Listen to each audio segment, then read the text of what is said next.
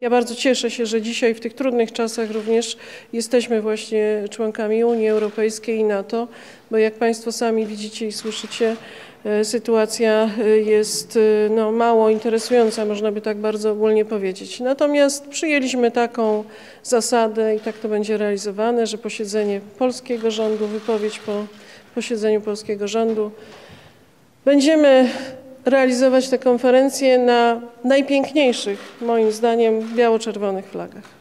Pani premier wywołała temat, który wymaga uregulowania, ale to przesłanie, gdyby powiedzieć, e, z jakim mamy do czynienia, e, no jest e, politycznie określone, a to czy e, e, z jednej strony będzie część osób, która na pewno ten gest przywita z zadowoleniem, a część będzie zaniepokojona.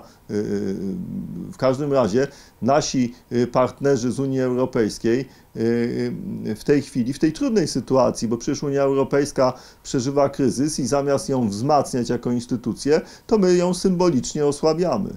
Czyli bi- bierzemy, ale nie dajemy.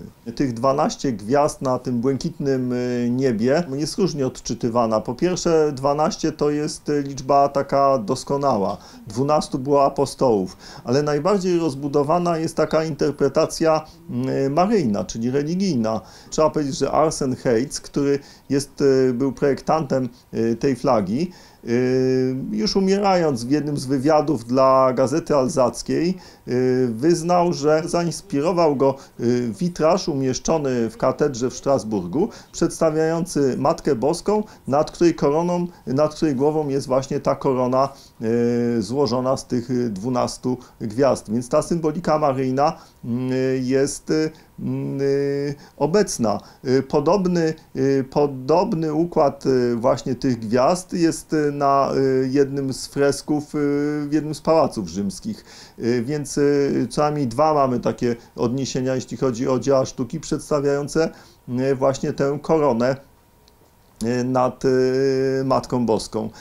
Warto no, odnotować, że y, ta flaga została przyjęta 8 grudnia 1955 roku rezolucją 32 w czasie 36 posiedzenia Zgromadzenia Parlamentarnego, ale było to święto niepokalanego poczęcia Najświętszej Marii Panny. Stąd y, mm, y, y, jeśli mówię, ktoś jest bardziej wczytany, y, y, głębiej czyta historię i przesłanie tej flagi, dla osób bardzo wrażliwych może to być y, odczytane jako obraza uczuć religijnych.